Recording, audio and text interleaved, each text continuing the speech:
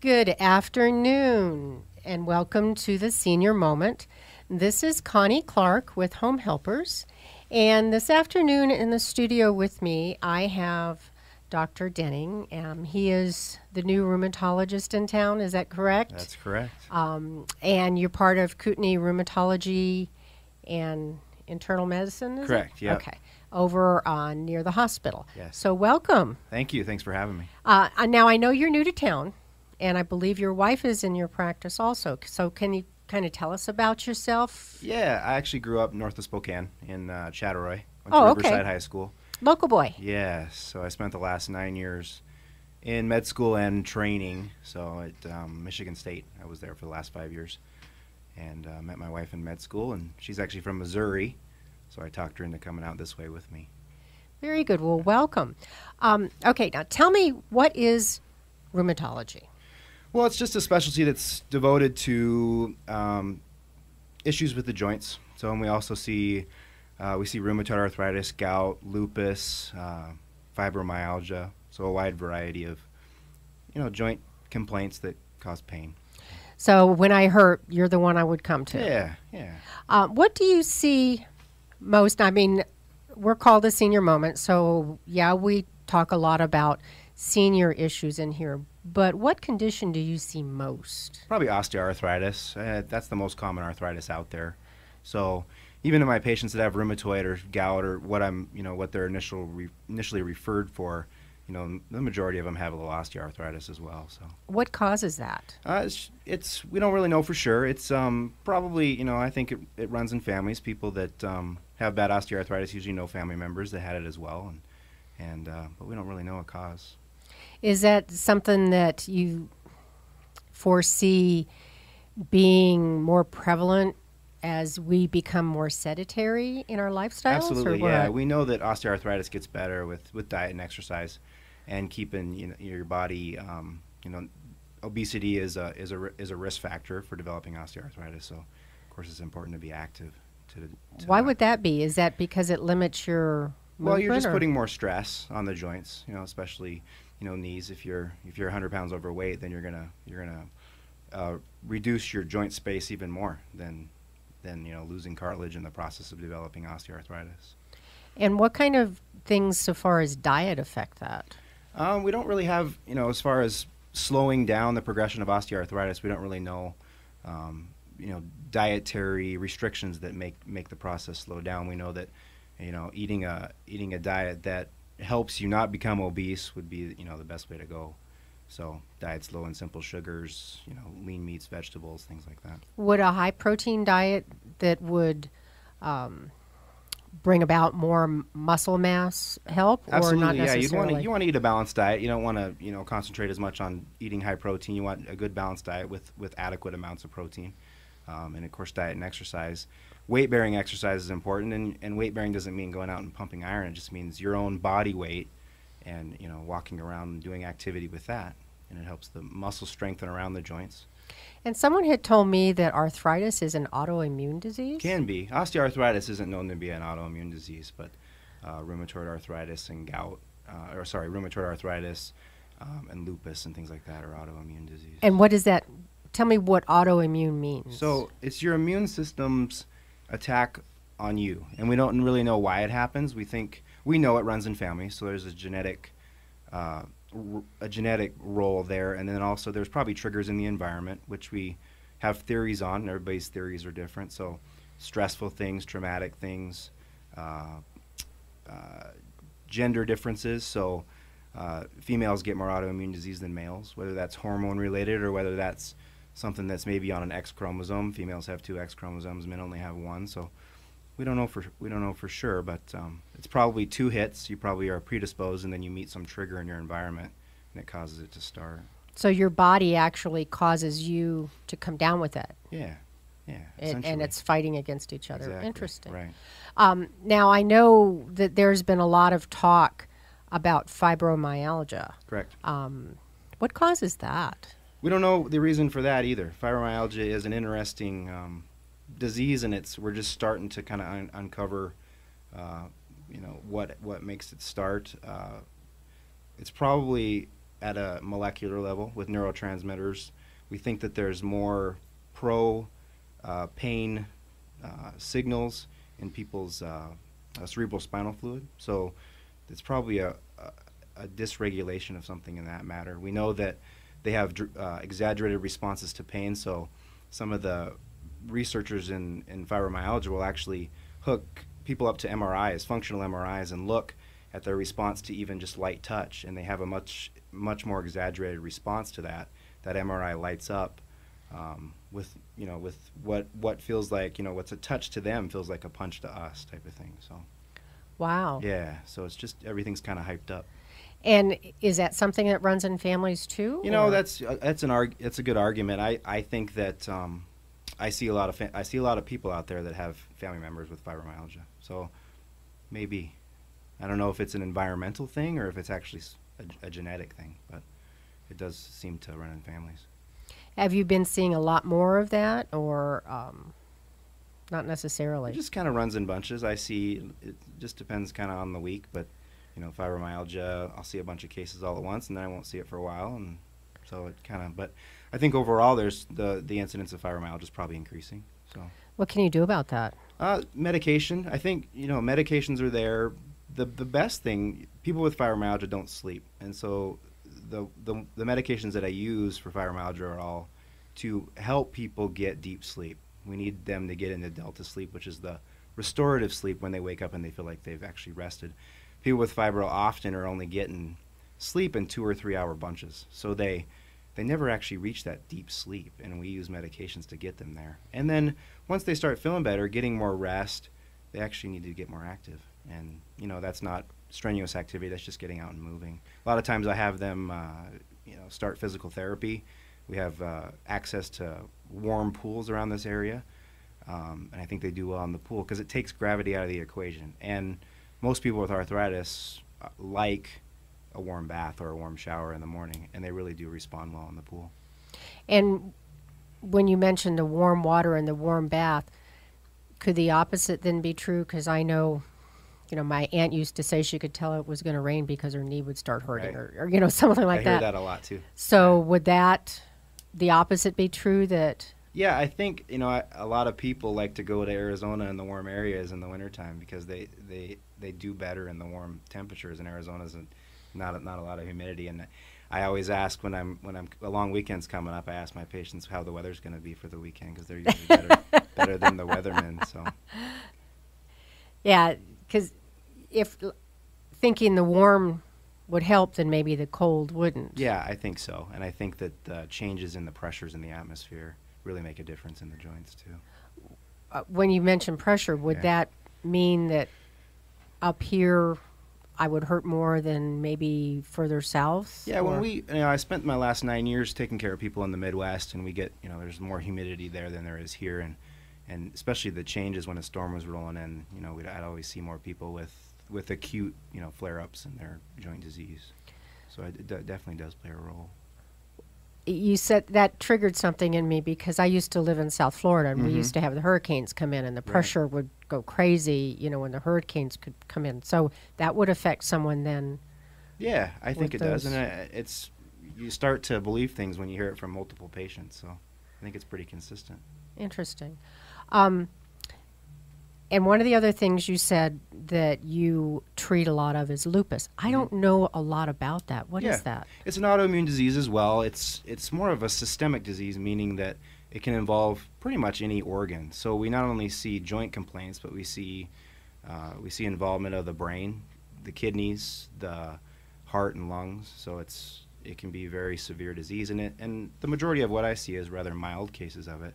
But it's a syndrome with 11 criteria, and you need four criteria to meet to meet the diagnosis. And what are those? So you have lab different lab tests you can do. Probably most common is the ANA. So that's one of the criteria. What is ANA? Uh, it's anti-nuclear antibodies. So um, it's actually a blood test we can order, and it's just it shows your body's making antibodies against a part of your cell, which is the nucleus and it's very it's probably the most common antibody that we order and it's associated with a lot of so it's not specific it's sensitive so you know lupus 90 plus percent of people have positive ana rheumatoid arthritis probably around 30 percent psoriatic arthritis, and it's associated with thyroid disease and Raynaud's. So it's lab and then skin disorders. So these folks always get worsening of their disease when they're when they're when they're in the sunshine. So sun sensitivity, the malar rash, which is the butterfly rash that you probably have seen in magazines and books. What it's is actually that? on the face. Looks like a butterfly across the face, redness and and there's discoid lesions, which are actually circular lesions that actually can leave scars on the skin, um, joint pain, uh, fluid around the heart and lungs, kidney involvement, which we call nephritis, which is inflammation in the kidneys, ultimately leading to sometimes end-stage renal disease and people having to be on dialysis. And you know that's lupus is you know the people who do really bad are the ones that get kidney involvement. So the reason people pass away from lupus is probably number one is infection, and then number two would be the kidney involvement. It can be very severe. So and then they also they can develop seizures and pretty much everybody with lupus complains of cognitive problems. Like I walked into a room and I can't remember why I'm there, or they even are mid you know mid sentence and forget what they and forget what they were even trying to say. Uh, and it's it's worrisome when they're noticing it, but when then when you got husband or wife there too, and they're saying they're just not themselves. They're you know they're not making sense and they're not remembering things. I wonder if because there was is a cognitive um, piece of it, Yeah. if maybe folks with dementia could also have that, but you not really know it because they've Right. also got dementia. Right. Yeah, it's true. And and there's you know some of us that think that maybe Alzheimer's and, and dementia may be an autoimmune thing too. But you know I haven't read much on that. So but um, you just wonder why some people get disease, some diseases and some don't. You know why is but so it's interesting. But yeah, you get when you have you know somebody that has a an underlying uh, neurologic disorder like dementia and they develop something like that, you it'd be hard to know what's what's actually going on. Because a lot of times they may not understand what's happening and can't communicate. Right. No, that'd be and horribly frustrating. Yeah. Interesting. Very interesting. Um, so, is all of the things that that a rheumatologist would address muscle disorders, or is it actually with like bones? Yeah, we see muscle disorders too. So fibromyalgia, myalgia means you know pain in the muscles. So, but there's no actually laboratory data that there's being any damage done. We do see things like what we call polymyositis and dermatomyositis, which are actually inflammation in the muscles, and usually people get inflammation in the proximal muscles, meaning muscles close to their core. So usually it's um, in the thighs, and you notice it by not being able to climb stairs, not being able to get off the toilet, not being able to get off a chair. So profound weakness, and we actually see uh, evidence that their muscles are actually dying on their blood work. They get uh, CPK elevations on their. On their You can see that on blood work that your muscles are dying. Yeah. So. Wow. Like if somebody were to, you know, some of the older population, if they fall at home, a lot of times we get them and um, CPK or muscle enzymes. If they laid on the floor with no with no help for six seven hours, those muscles start to break down, ultimately leading to kidney failure. So it can be very serious. Interesting. Yeah. I didn't know that. Um, so, do you deal then with um, disorders concerning the bones too? Yeah, we deal with osteoporosis and osteopenia, which is very common, especially in our folks. So rheumatoid arthritis and all inflammatory arthritis is a risk factor for thinning of the bones over time. Not to mention, you know, the other risk factors for osteoporosis like heavy alcohol and tobacco smoke, female, uh, family history of, especially not only osteoporosis, but um, family history of hip fracture and things like that. So we manage those as well. Good grief! So all of all of your conditions that you treat are hurt. Yeah, exactly. right, exactly. Yeah. you know, versus a different kind of doctor where you've got a cut or something Sure. like that. You deal with all the things that make your body hurt. Exactly, and that and I think pain's the worst symptom of any disease. So it's very rewarding to make people feel better. I mean, people don't. I mean, people of course care about their cholesterol, but having high cholesterol doesn't hurt when you're. No, it doesn't. That's what I was diagnosed. thinking. It, you know, there there are diseases like heart disease and stuff like that that Yeah. not necessarily hurts. exactly But when you can't move and your body Right. hurts, right. you know, how would you know? Okay, let me ask a stupid question here. How would you know if it hurt when you moved your body if there was really something wrong or if you were just coming down with the flu and you had body ache? You know what I mean? Yeah, I, th- I think a lot of our arthritis has come on quick, like the flu would come on. Um, you, the biggest symptom of inflammatory arthritis is stiffness. So, osteoarthritis will give you, when you wake up in the morning, 10, 15 minutes of stiffness where you have to do your stretches and, and it takes a while to get moving. People with rheumatoid and psoriatic arthritis usually take hours, you know, sometimes to get loosened up. I mean, so they spend half their morning stretching, doing all their little routine to get themselves loosened up. So prolonged morning stiffness is always worrisome. And then osteoarthritis joints swell, but um, not to the extent of some of the inflammatory things I see. So especially involvement of the knuckles, um, you start to worry about things like rheumatoid arthritis. So stiffness and swelling. Uh, and you mentioned different types of arthritis. What are those different types, and what's the differences between them? Biggest difference between you know rheumatoid arthritis only involves the upper part of the cervical spine, so it doesn't involve thoracic spine and, and lumbar spine, which is mid back and low back. Uh, so it would just be things like in your arms and your hands and right. all that, not your knees. Well, 90 percent plus of rheumatoid folks get hand involvement, and Okay. probably somewhere close to that knee involvement.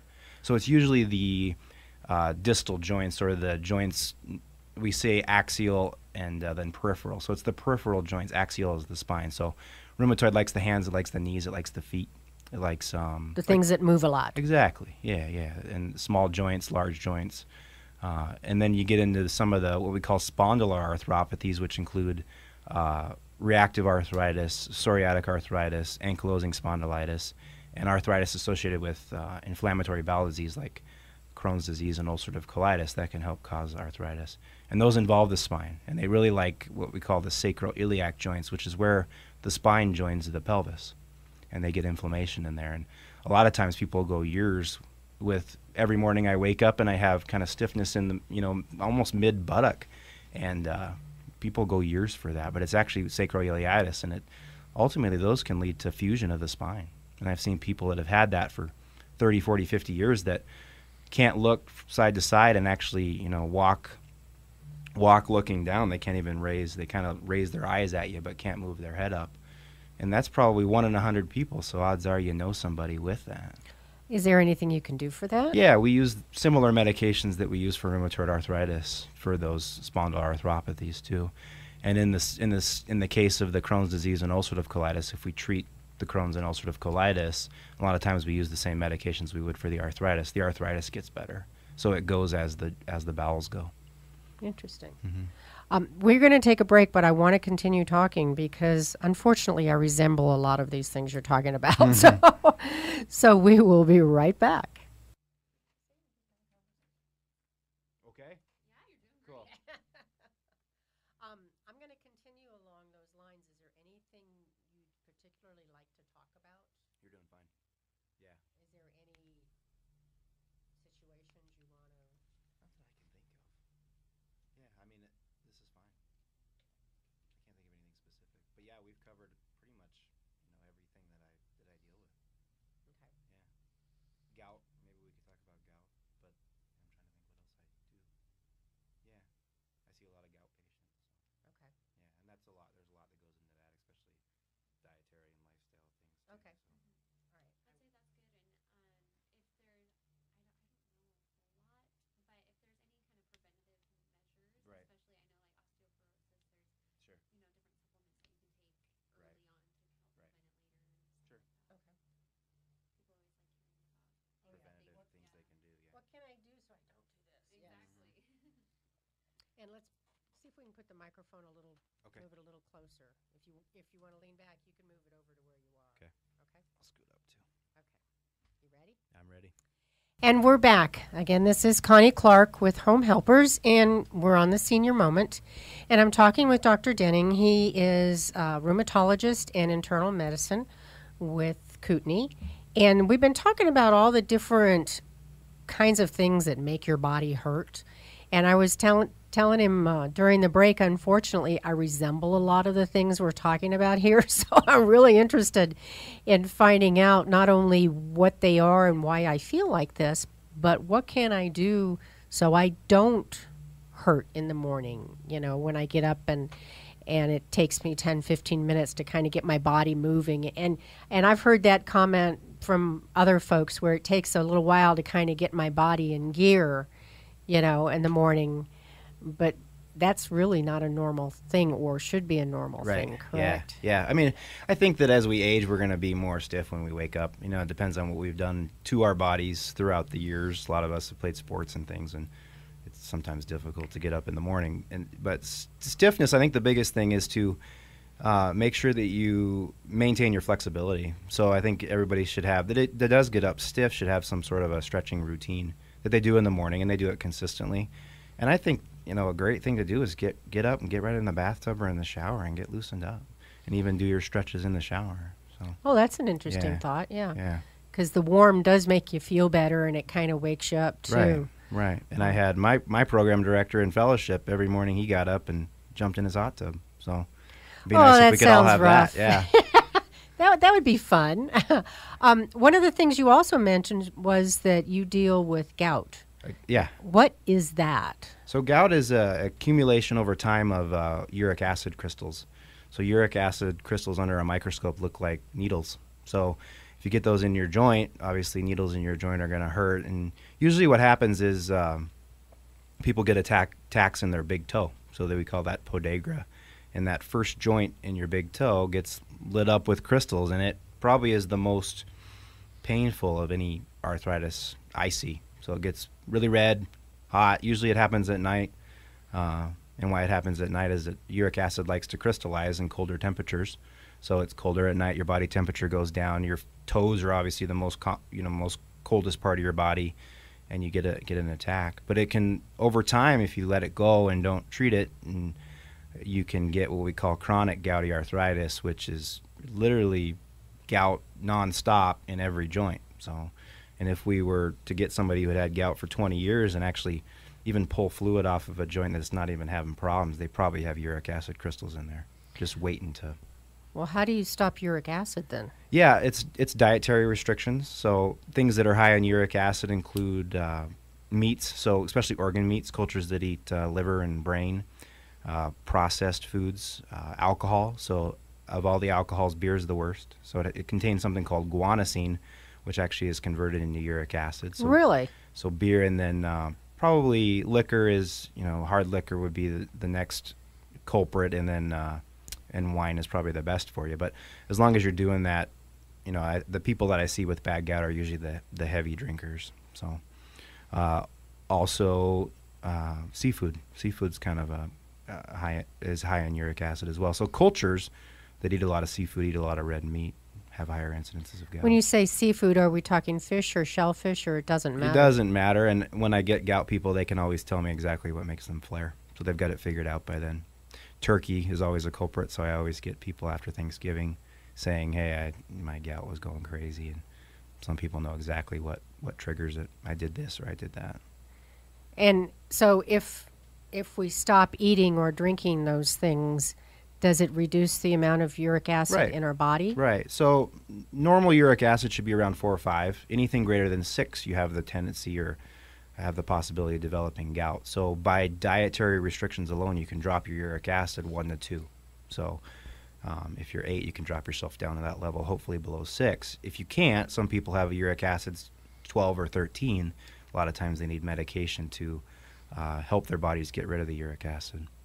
Is that when you get your normal yearly uh, exam and they do the blood test on you? Is that something they normally test for, or do you have to request it? No, we uh, we don't.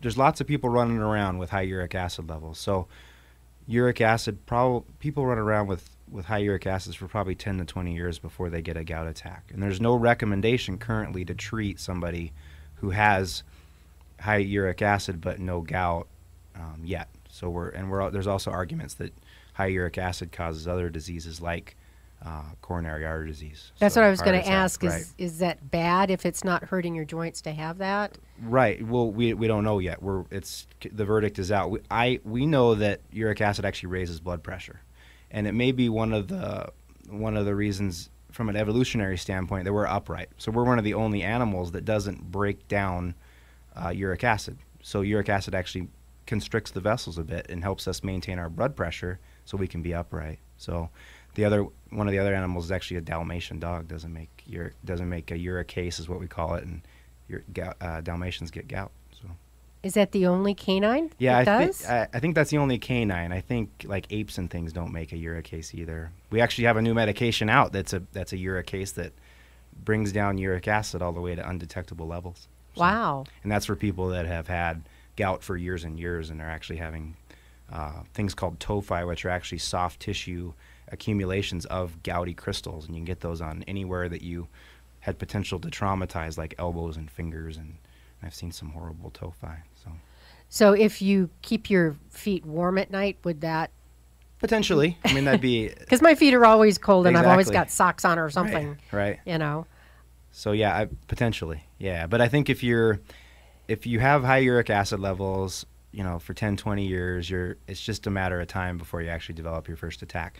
And then there's the probably there, there's people out there that have high uric acids their whole life and never develop an attack. So we don't really know why, for sure that it happens. But And you said it it starts in your toe, and what is it? Just pain? oh, it's Or- excruciating pain. It's compared to giving birth, uh, kidney stones, and gout. Those are the three most painful things I've I've heard said, and I haven't had any of them, so I wouldn't know. But those are those three things are always on the same level of pain, patient wise. Okay. Yeah, women have said I'd rather I'd rather give birth than have a gout attack. Interesting. So yeah, Okay, now since we're down on the feet, right. um, and we've been talking about muscles and and conditions dealing with that. What about Charlie horses? Charlie horses are so common in I know. in my folks, yes, especially at night. And uh, you know, I think as you age, you're at higher risk of that. We don't really know why they occur. I mean, electrolyte abnormalities, so um, low magnesium, low potassium can contribute to, to clotting. So it's always reasonable to get that blood work checked, especially if you're on medications that predispose you to low potassium and things like that, like the diuretics. A lot of people are on Lasix and hydrochlorothiazide and things like that. Uh, but um, the main thing is to stay de- hydrated. And that's what I tell my folks. You know, even if you have to drink drink water close to bedtime, some people uh, swear by tonic water. So just a you know an eight ounce glass of tonic water before bedtime. Some people supplement with a little extra magnesium, which is pretty safe. Uh, your body gets gets rid of what it doesn't need. So magnesium kind of has a relaxing effect on on the muscles, and it's actually used for blood pressure and other things. And so magnesium is a reasonable option. So if you took a supplem- supplement of magnesium, that might Yeah, potentially. Okay. Yeah, especially if it, you know people that really suffer from it and it's waking their waking them up from sleep. because sometimes at night mine just go crazy in Yeah. my feet, and it's like ah. So Yeah. I, I didn't know if it like. That's why I wanted to know what does gout feel like versus. you know, Yeah, I think you'd know. Okay. That'd be the only way to, to describe it. And I think that a lot of people have restless leg syndrome too, and that you know that's kind of a can be a sensation of cramping where they just have to move their legs, and we have good medications for that too, and that affects a lot of people's sleep. And and again, going back to the fibromyalgia and the lack of the sleep and the whole. Yeah, right. No, it's a, it's a cycle, you know, a pain cycle. People that that don't sleep don't don't want to do stuff during the day and then they uh, by not doing stuff they're not tired when they go to bed at night and and it's just a vicious cycle where more pain, no sleep, no sleep, more pain type of thing. So I always draw a circle with my fibromyalgia patients and I tell them somewhere we're going to have to break this cycle. So get them moving and get them sleeping and they usually do much better. Um, and one of the things you, we also kind of touched on earlier was osteoporosis, Right. um, and that is something that is preventable, isn't it? Yeah, to a, to a point. I think people that uh, have a family history of it are definitely at higher risk. There, you, you can prevent it to a point. Um, you know, I always tell people tobacco use, big risk factor. Alcohol use, heavy alcohol use, is a risk factor. Uh, so eliminate those if you can. Uh, weight bearing exercise is very important. So we, I see more osteoporosis and you know it's more common in females and it's more common in, in thin females. So having a little bit of extra muscle mass, um, you know, to support the joints and, and it actually does prevent osteoporosis. So it's a good thing I have a little bit of weight on me. Is that what you're yeah, saying? exactly. Yeah, That's a good. Okay, all right. I don't want. I don't want to be real thin. Okay, that works. Um, because as we grow older, I mean, sometimes you just think, okay, pain is just a normal thing that I should experience as I get older. hmm But that not that isn't necessarily the case. right. And I get that a lot in my patients. Somebody who's probably had arthritis, you know, problems for 10, 20 years and just didn't go to the doctor to get evaluated. And, you, and, and I see that more than I'd like to. even you know osteoarthritis is probably the most difficult thing to treat, but we still have some options that can really lower pain levels. Like what? Um, we use, you know, I kind of progress. Good old fashioned Tylenol arthritis is a nice, safe drug as long as you don't use too much of it. Uh, and then uh, NSAIDs, so non steroidal anti inflammatories. Some of those you can get over the counter, like aspirin, ibuprofen, naproxen. Uh, and then we can, you know, get more aggressive. Sometimes people, I think, have a little bit, you know, there's a fine line between, there's osteoarthritis, which pretty much everybody gets, and then there's something called erosive osteoarthritis, which actually not only eats away at the cartilage, but it eats away at the bones. And we can actually see what we call erosions on x ray. And I think that might be a form of inflammatory arthritis, so something simpler to rheumatoid. So there's, and when I get people with really bad deformities in their hands and feet, you start to worry about that. Is there something? This it's just too much to be osteoarthritis, just osteo- osteoarthritis. So a lot of times we'll treat those people with drugs for rheumatoid, and they do great. What causes? Because I have seen that. I have seen seniors where their hands, their fingers are are Yeah, changing direction. exactly. Yeah, For lack of a better description. right. What causes that to happen? Well, just just the lack of the joint space over time. So you lose cartilage, and then you you're pretty much become bone on bone. So a lot of people that have, you know, for for example, one one leg shorter than the other, a lot of times they'll have bad osteoarthritis where they're actually bone on bone in one knee, and then they have pretty much normal normal joint space in the other knee. So you you start to compensate. Your body starts to compensate for that, you know, shorter leg, and same with the fingers. You lose, you know, you do X-rays and you can't even see that, you know, where the joint is. You, it's completely lost. They're, your your bone touching bone, and that leads to more deformities. So it's off balance, so to speak. Correct. Yeah, and then as you get, you know, os- osteoarthritic hands actually get a lot of lumpy bumpies on them, and Mhm. then tendons glide over bones, and if the tendons can't glide over a lumpy bumpy joint, they slide off to the side, and then that causes the fingers to go funny ways. Oh, So, interesting. yeah. Because I have seen that a lot, and then I've seen where people have um, different, for lack of the word, different kinds of ring apparatus on their finger Mhm. that makes the fingers go back the other direction.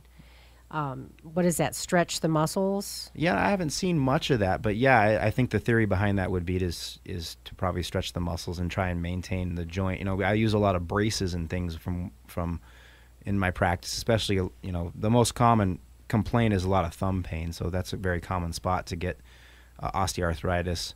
Uh, probably 90% plus of females get it, and 80% plus of males get it. You know, before they pass. So um, it's you know, and we obviously need our thumbs. It's what makes us, you know, one of the things that makes us human beings. but- Just have a band-aid on your thumb and try to do something. but yeah, a lot of times I'll get braces that have a good, you know, good metal uh, base to them that prevents people from from doing stuff that's going to potentially injure their thumbs or make it worse. And osteoarthritis is one of those things where it hurts more if you do more. So So you don't want to do more. yeah, and then it's a vicious cycle there too. Yeah, so, we're yeah. going around that circle again. Right. So, so it's not normal to hurt. Right. Okay. And you see, sometimes you see people where they're shrinking. Now, Sure. is that their bones aren't actually shrinking? Then it's the space. Between, yeah, Between. between the bones, and we actually see, especially osteoporosis people, you know, that lose the lose the actual height. They lose height. So I asked some of them, you know, how tall were you in high school? How tall are you now? Well, I'm two or three inches shorter, and then you start to worry about osteoporosis. And then you know the, the back is commonly involved in osteoporosis, as as are mo- most joints, but they actually get what we call compression fractures, where the vertebrae actually crumble, and obviously that can be very very painful. And as you get more and more of those, you end up with the the loss of the curve of your lumbar spine, and your thoracic spine curves the other way, and then you get what you what the spine starts to look a little bit like a question mark. And people, you know, are walking with their heads pointing at the ground. Right. Yeah. I've seen that. So Interesting. Well, we're going to continue this conversation. Um, so we will be right back. got it in. Okay. Well, t- tell me something else you'd like to talk about. Because I don't know. Yeah. I'm not an expert in that field. So. Right. We could we could talk a little bit about treatment, like especially of rheumatoid arthritis and psoriatic arthritis and ankylosing spondylitis, those because the treatments, a lot of it's new. We just Oh, came okay. out with a new drug for rheumatoid, Okay. so it'd be interesting to maybe talk about. Okay. We'll go down that route. And osteoarthritis, I think we covered treatment wise. There's really not a lot of options. And so, yeah, we could talk more about that. Okay. All right, you ready? I'm ready. And we're back. Welcome back to the senior moment. Again, this is Connie Clark with Home Helpers, and I have Dr. Dinning with the Kootenai um, Rheumatology Right. and Internal Medicine. Ah, having to try to learn these new big words, you know. Um, and we've been talking about some of the treatment options that people have for being in pain. You know, we think that, at least I do, that as you get older, you're just in pain and that's the way it is. But that's not necessarily how it should be. And you were talking about there's some new treatments available. Right. Yeah, we just got a new drug for rheumatoid arthritis. It's actually uh, just approved a couple weeks ago. Uh, it's it's it has its role. It's called Xeljanz, and but we have lots of new medications for rheumatoid arthritis. A lot of people are, you know, we're putting people into remission with these newer drugs. You know, 20, 30 years ago, we, we were limited in our in our treatment. We had prednisone and we had gold and things that, you know, have quite a bit of side effects. And then we started to develop, you know, things called disease-modifying anti-rheumatic drugs and things like methotrexate, uh, plaquenil, sulfasalazine, uh, obviously safer than gold, safer than prednisone. And now we have new drugs, which are called biologics. They're not super new, but within the last 10 to 20 years, and drugs like Humira, Enbrel. Uh, I've seen that advertised. Right, you see a lot of drug companies now that are advertising on the television. sure, And I that's kind of interesting, right, you know, to Well, educate the sure. consumer on what's out there. Exactly. And now we have celebrities with diseases like psoriatic arthritis. We have Phil Mickelson, who is a, a great golfer, pro golfer, that's on a drug called Enbrel, which is a biologic drug. Uh, he uh, he was diagnosed with psoriatic arthritis two or three years back, and uh, so he, he's doing very well, obviously. On What is on a drug. biologic drug? So biologic drugs work on the immune system, and they work on it in different ways. So they actually interfere with, with signals from, from your from the autoimmune system into the inflammatory system that tell the inflammatory system to make to make inflammation. So we have a bunch of those signals we can block, uh, and we So it keeps your body from fighting itself. Exactly. Right. Okay. Right. And that the, you, you have a little bit of increased risk of infection with those. So we, we monitor for that closely. We never would give these drugs to somebody who has infection. So we always tell them to skip their dose if they're on antibiotics or if they're not feeling themselves. Uh, but that's usually only about two percent of people out on those drugs that get more infections. And people with autoimmune disease in general get more infections too. So a lot of people get less infections, which is which is interesting. Interesting. Uh, Yeah. Do you think that because us baby boomers are now getting older, that they're going to really be focusing more on these kinds of things because all of us are going to start experiencing this stuff? Right, and that would make the most sense. And some of these drugs, we're talking twenty thousand dollars plus a year if you were to pay cash for them. A lot of the companies help out with copay assistance and with um, people who can't afford the drugs, but you know that uh, the pharmaceutical companies are of course going to target that baby boomer population, and they're suffering from arthritis because that's they're, we're getting to, they're getting to that age. So I see more and more drugs down the line.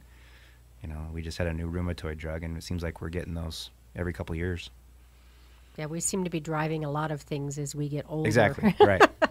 what is the youngest patient you've seen um, with these kind of conditions? Yeah, that's a good point. I see kid. I see kids all the time. Um, yeah, uh, I have in my practice.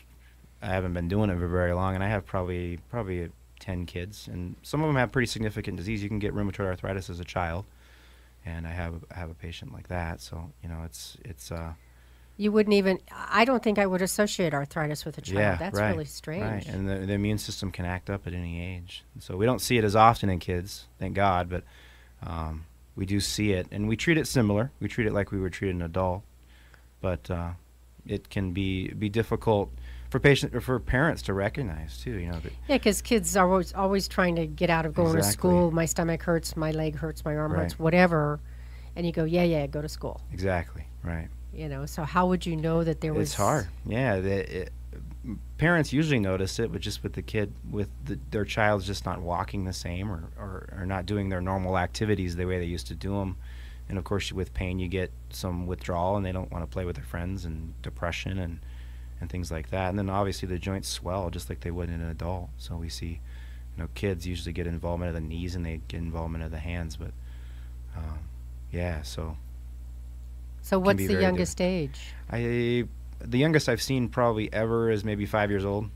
Oh so. my Yeah. heavens! Yeah, That would really be hard because they're they're still growing. I mean, Exactly. you know.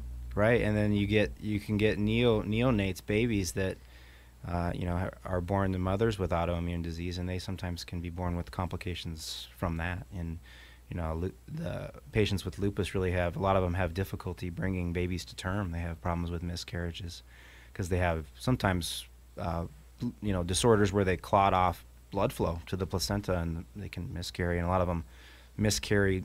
You know, later on in pregnancy, mid mid pregnancy, late pregnancy. So can be very difficult. A lot of times, if I when I'm interviewing somebody and investigating possible lupus, I'll ask them if they've had many miscarriages. So a lot of times there's there's been a lot. So, if you've had a lot of miscarriages in turn, would you then be tested for that? You'd start to you'd start to you know you'd see somebody that specializes in in people that are high risk for having miscarriages, and then that would be need to be investigated.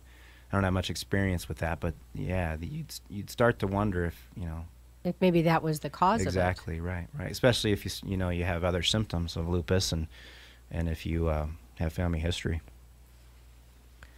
Good grief.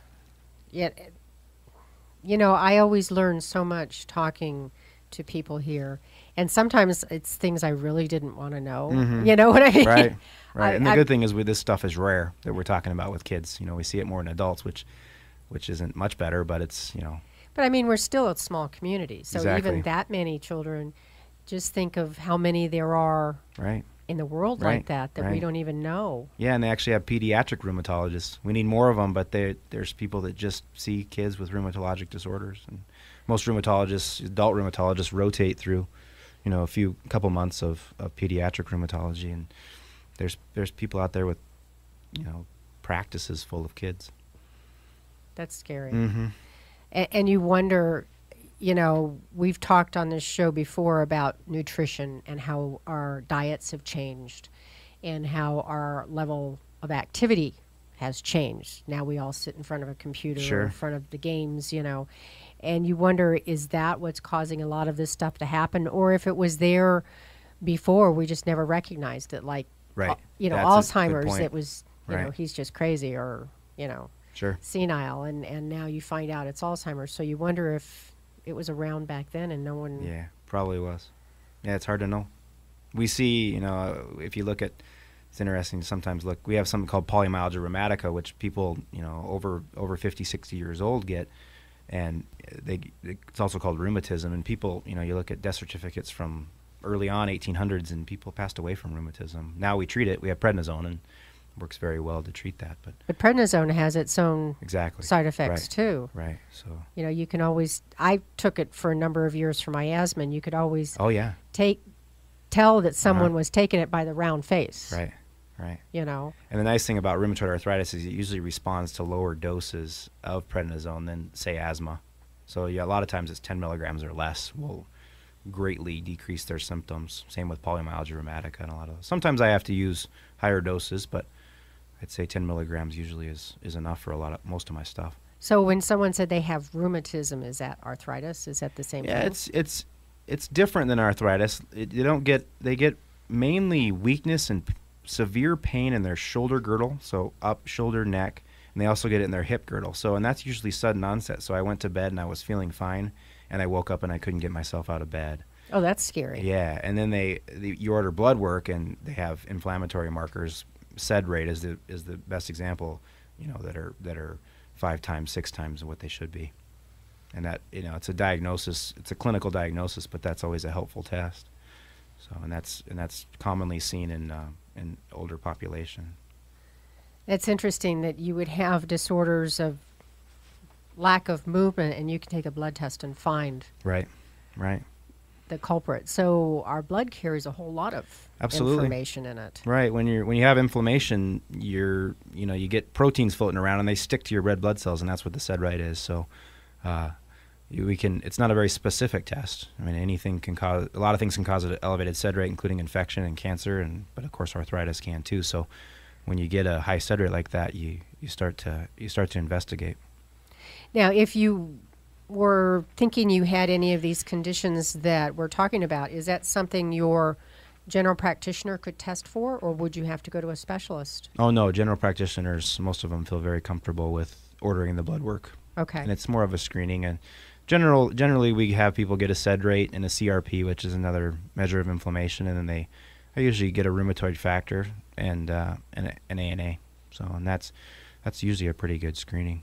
So then you would get this blood test from your doctor. Your doctor would see that you had these elevate, elevated results Correct. and then uh, refer you to a Yeah. specialist in that. And there's quite a few uh, general practitioners and internists that feel comfortable managing early arthritis, and a lot of times they'll manage it themselves, and that's totally appropriate. You know, I, you know, I see see more of the moderate severe, and they see more of the mild to moderate, and that's fine. So your your general practitioner could take care of things until it gets out of hand. Absolutely, until they feel uncomfortable with it, and then they send you know send to rheumatology or Because they're probably not familiar with all the new drugs. That right exactly, and that. that's yeah that's why there's a, a specialty completely devoted to these things and these new drugs. Well, and it's really sad that we. I'm sorry, but really sad, but that we need doctors Eh. like this. Right. But uh, you know, it's a good thing that we're learning all these causes for these conditions because I'm sure again 30, 40, 50, 60 years ago when you hurt, you just hurt and that was being old. There Right. wasn't anything that could make you feel better, Mm-hmm. Yeah. you know. So what would you suggest if I'm 40ish, early 50s and I don't want to hurt when I'm in my 60s? What should I do? I'd be active. So, you know, not strenuous exercise, but get out and, and move. You know, walking is a great example, and it's easy. We all can do it. And we all have adequate area to do it. So, uh, and then you know, keeping your keeping your weight where you're where in your normal range. So, eating appropriately, uh, and limiting simple sugars, which can be pro-inflammatory. Some think, and trying to eat lean meats, vegetables, um, seafood, and trying to eat as balanced diet as you can. And stay away from the alcohol because you said Alcohol beer is tobacco, right? That's really interesting. I, I really didn't know that there was something in, in beer that would cause gout. Right. I had never ever heard that before. Sure. Yeah, and tobacco smoke, you know, we found that is is actually as a risk factor for developing rheumatoid arthritis. So if you have a family history, and you know you're a smoker, you gotta. Or is it a smoker or a round smoke? Well, probably I don't. I've- I haven't heard much about around smoke, but obviously smoking yourself would be put you at risk. And then the folks with rheumatoid arthritis, that's actually a risk factor for developing heart disease. So So it all kinds of a, a smoking rheumatoid arthritis patient can get pretty dangerous. good grief. Okay, so we have to live a hef- healthy lifestyle, uh, not too much meat and seafood, Right. limit the alcohol, the smoking, that sort of thing, and maybe we won't hurt as we get older. Hopefully. Hopefully. um, if someone had more questions, how could they find out more information about this? Uh, rheumatology.org is very good. You know, we have internet now, so Google Google um, osteoarthritis, Google these arth- arthritic conditions, and there's a wealth of information out there. And if you are suffering from something like this, you can ask your doctor for a referral, Absolutely, yeah. and, and then they'd be contacting Con- like yeah, contacting the Koo- Kootenai Physi- Physicians Clinic or you know whatever wh- wherever a rheumatologist is close to you. you know, Okay. get in and see somebody. And if they wanted to ask questions, how would they get in contact with you? Uh, th- through probably through Kootenai Physician Clinic would probably be the easiest way to go. Okay, Yeah. and what would be the number over there? I don't know what number they would call actually. Okay, uh, yeah. but they could go on the uh, KMC. Right, KMC and get all that information. org Ex- and find absolutely. you. Yeah. Okay. Yep. Very good. Well, thank you so much for coming on with us today. And like all of the other shows that we have done, uh, we will be recording this, and it will be available shortly online at uh, on YouTube or on QuarterlineHomeCare.com. We'll have a copy, and I'll provide you with a copy also, so um, people can hear all of this information because it is, you know, again, I resemble this. As we get older, we start hurting, and you think that's a normal thing. But like you said, that's not normal. Our Right. bodies shouldn't hurt. Our hands shouldn't hurt, you know, from They don't have to hurt. they don't yeah. have to hurt. Right. And there are things we can do. So I appreciate it. Thank you so much for being with me this afternoon. Thank you for having me. And you've been listening to the Senior Moment, and you all have a wonderful rest of your weekend.